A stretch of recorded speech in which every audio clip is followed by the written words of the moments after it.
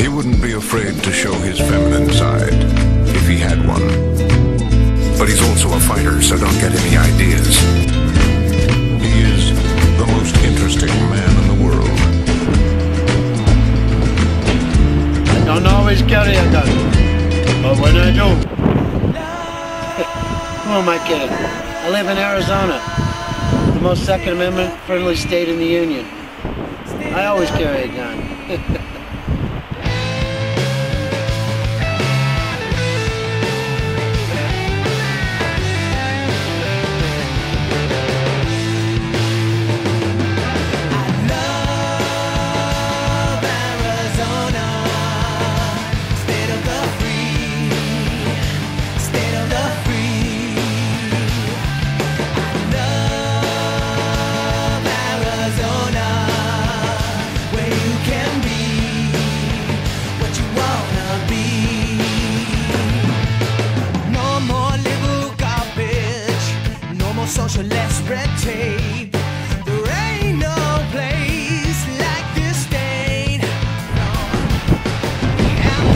state. No.